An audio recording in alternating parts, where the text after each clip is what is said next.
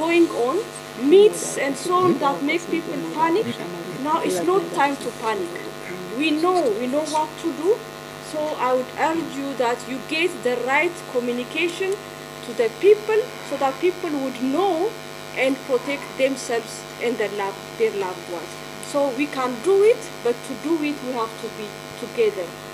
Thank you very much. Asante sana. WHO basically anachosisitiza na mimi unataka kumaliza kwamba tunaweza kuudhibiti huu ugonjwa, lakini endapo kila mmoja atatimiza wajibu wake. It can be controlled but everybody has to play his or her part. La pili ambayo tunalisisitiza na waandishi wa habari, tujitahidi sana na niwaombe wa Tanzania tusitoe taarifa za kuwapanikisha watu, kuleta taharuki. Tujitahidi kutoa taarifa ambazo ni sahihi, na sisi kama Wizara ya Afya, Maendeleo ya Jamii, Jinsia, Wazee na Watoto kwa kushirikiana na wadau tutajitahidi kutoa taarifa za mara kwa mara kadri itakavyohitajika, na serikali kwa ujumla kadri tutakavyopata pia maelekezo ya wakuu wetu.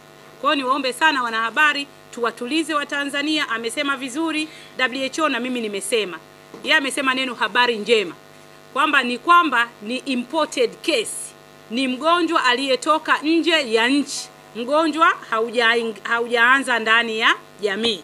Kwa hayo ndio ya kumshukuru Mwenyezi Mungu. Mimi na timu yangu sasa hivi kazi yetu ni kuwafuatilia watu wote ambao wamekutana na mgonjwa toka jana amefika uwanja wa ndege wa Kia. Kwa hiyo tutawaweka kwenye nyumba za kwenye uangalizi kwa siku kumi na nne ili kuweza kuhakikisha tuna tunadhibiti maambukizi kwa jamii ya mapambano dhidi ya korona.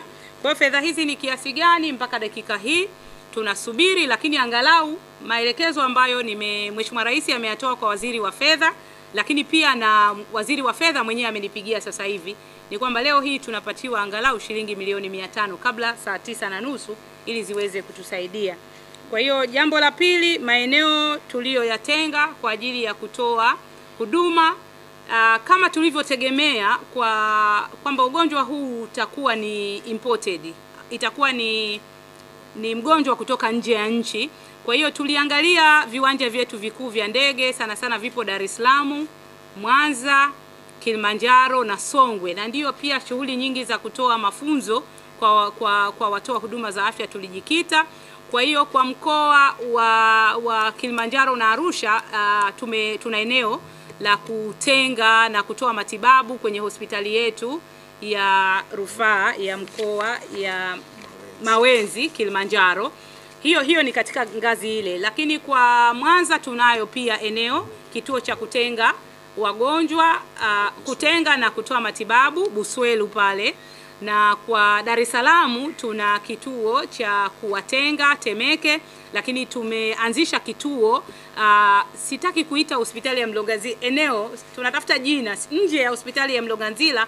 Kama mtaenda mtakuta tuna kituo pale tayari tumeweka kwa ajili ya kutoa matibabu, lakini tumejiandaa endapo kutaongezeka wagonjwa. Kwa hiyo pia tunahakikisha tunaendelea kutoa uh, wananchi wote ambao watahitaji uh, matibabu watapelekwa katika vituo hivyo.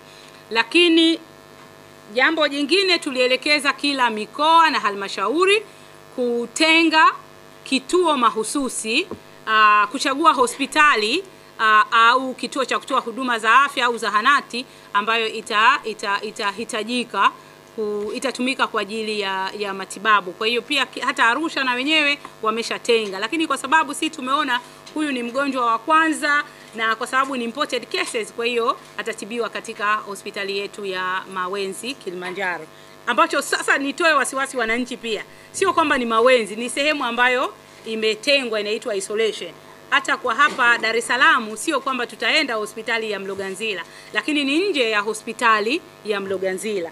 Na swali la tatu ni Janeti, zuio kwa ndege.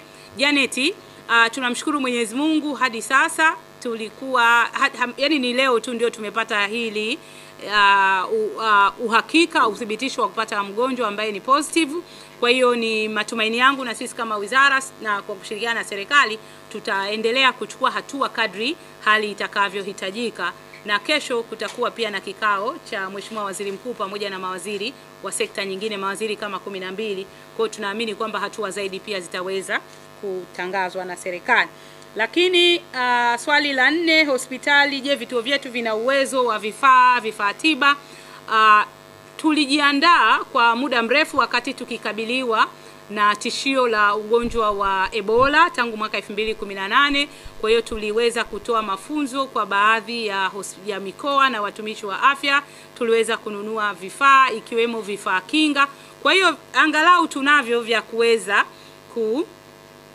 kukabiliana na ugonjwa huu, lakini unaposema vya kutosha, hatuta mpaka dakika hatujafanya mahesabu. CMO, want to talk about this.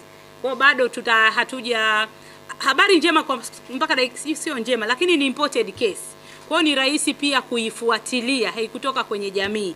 Kwa hiyo tunaamini tutaweza kudhibiti, hatutapata wagonjwa wengi na washukiwa wengi. Na kwa hiyo suala la uwezo na vifaa kama nilivyosema, tumenunua baadhi ya vifaa kinga pamoja ikiwemo zile PPE uh, tumenunua maski, tumenunua sanitizers, lakini tutaendelea ku uh, kuhakikisha kwamba tunavijengea uwezo vituo vyetu ili kuweza kukabiliana na, na, na mlipuko. Kwa hiyo sasa hivi tuko hatuko tena kwenye tishio, tuko kwenye kipindi cha mlipuko wa ugonjwa wa COVID-19. Lakini nataka pia kuwatoa wasiwasi wananchi. CMO naona kidogo wanasita. Uh, ni kwamba katika nchi ambazo kuna mlipuko asilimia sabini ya wagonjwa wanakuwa na dalili ambazo sio sio mkali sana, ni watu ambao wanaweza kusema, wanaweza kuongea. Hata huyu uh, mgonjwa wetu nimeongea naye kwa simu leo zaidi ya dakika kumi na tano nimemuuliza ulikuwa vipi, na yuko katika hali nzuri. Kwa hiyo hii pia tu, tujitahidi kutowapa hofu wananchi zaidi ya kuwataka na kuhamasisha kuchukua hatua. Kwa hiyo nimeongea na mgonjwa, amenieleza nilitoka nchini waziri tarehe fulani, nimeingia hapa, nilivyofika airport nikapita hivi, nimeenda huku. Na jambo la kusisitiza ambalo kabla sijaliandika kwenye taarifa yangu ni kwamba mgonjwa huyu ukimsikiliza tu maelezo yake hata kabla ya vipimo ame, alipokuwa Belgium, nyumba ambayo alifikia uh, mume wa mwenyeji wake alikutwa na maambukizi ya ya ya ya ya ugonjwa wa korona. Kwa hiyo ni kesi ambayo ilikuwa iko wazi, na ndio maana labda alivyoona yeye mwenyewe kwamba ana ana, alikohoa. Kwa hiyo hakuwa na joto, alikuwa na kikohozi. Kwa hiyo mwenyewe alianza kujishuku pia, na ndio maana alivyofika hotelini na habari, na habari ambacho tunataka kumpongeza kwenye hili na hili kwa kweli, mganga mkuu wa serikali ameniomba nilisisitize. Yeye mwenyewe alivyofika airport, kwa sababu alikuwa tu na kikohozi, hana homa, hakuenda nyumbani kwake, alienda sehemu akajifungia, tunaita self isolation. Kwa hiyo alivyojifungia hapo hapo akaenda hospitali na hospitali, bahati nzuri walivyomsikia tu, kwa sababu tulishatoa mafunzo kwa watu wetu, wakamsuspect, ndio maana wakachukua sampuli na kuileta Dar es Salaam. Kwa hiyo nitoe wito pia kwa wananchi kutojifungia, kutojificha. Ukijiona umeenda katika nchi ambazo zina maambukizi mengi, basi kuji kutoa taarifa kwenye vyombo vya, vya, vya serikali ili tuweze kuchukua hatua. Kuna swali jingine? Fedha zitaelekezwa. Sasa hivi tuko katika hatua inaitwa ya response, tunakabiliana, sio kwamba tunajiandaa. Kwa hiyo kubwa ni kuhakikisha uh, upatikanaji wa vifaa kinga na vifaa tiba vya kutosha, lakini pia tutazitumia katika kuendelea kutoa mafunzo especially ya case management kwa Kiswahili, mafunzo ya eh, mat, yani kuimarisha uh, huduma za matibabu kwa wagonjwa, lakini kubwa pia tutaendelea kuchukua hatua za kuwafuatilia watu wote ambao wamekutana na mgonjwa huu. Yaani, ili tuweze kudhibiti huu ugonjwa ni lazima tufuatilie contacts zote, alikutana na nani, wote hao lazima tuwafuatilie na tuta ili kwa, kwa ajili ya kuwafanyia uangalizi. Mgonjwa sasa hivi yupo Arusha. Uh, lakini ta, uh, Arusha sehemu yuko Arusha eh, lakini ambapo katika sehemu nzuri ya matibabu. Kuna unataka kuongeza sehemu? Naibu Waziri, sawa. Kwa hiyo tumekubaliana, tumeelewana.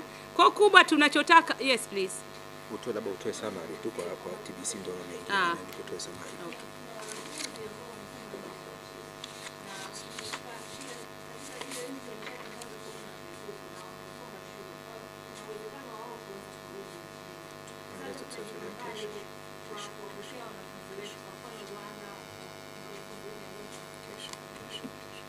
Swali lako kama nilivyosema, kadri, kadri siku zinavyoenda na serikali itatoa maelekezo zaidi. Kama nilivyosema, kesho Mheshimiwa wa uh, Waziri Mkuu atakutana na mawaziri uh, zaidi ya uh, sekta kumi na mbili. Naamini kuna masuala yatatolewa maelekezo zaidi. Sawa, lakini kubwa labda kwa sababu kuna wengine hawakuwepo ni kwamba uh, nimetoa taarifa uh, jana tarehe 15 Machi 2020 tulipokea msafiri Mtanzania mwanamke mwenye umri wa miaka 46 ambaye aliwasili nchini na ndege ya Rwandan Air akitokea nchini Ubelgiji.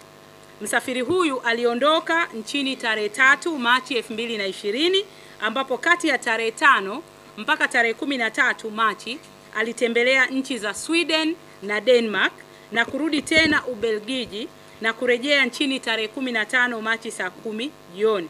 Kwa msafiri huyu, huyu alipita katika kiwanja cha ndege cha KIA Kilimanjaro akafanyiwa uchunguzi na hakuonekana uh, ha, hakuwa na joto na homa. Kwa hiyo uh, thermoscanner screening haikuweza ku kwa hiyo ndio maana alivyofika airport yeye alienda moja kwa moja kujifungia, tunaita self isolation hotelini. Hakutaka kwenda kuchanganyikana na watu, kwa hiyo alijifungia yeye mwenyewe na baadaye akaenda hospitali yetu ya rufaa ya mkoa ya Mount Meru ambapo alichukuliwa sampuli na usiku jana saa kumi usiku mlipokea sampuli e, saa saba usiku jana tulipokea sampuli ya huyu mtu na watu wa maabara ya taifa ya afya ya jamii wameichakata na uchunguzi wa maabara umethibitisha kwamba mtu huyu ana maambukizi ya ugonjwa wa korona wa virusi vya ugonjwa wa korona COVID-19, lakini narudia kusema mgonjwa anaendelea vizuri na matibabu. Inatosha kwa wale ambao mmechelewa. Uh, WHO, yes, T- TG. Yes. Yeah, maybe how many countries so far? Yeah. Yeah. Uh, Su- subiri- Sikilizeni kwanza. Thank you very much, uh, Honorable Minister. Uh, first of all, I would like to say, as you all know, that uh, the issue of uh, coronavirus.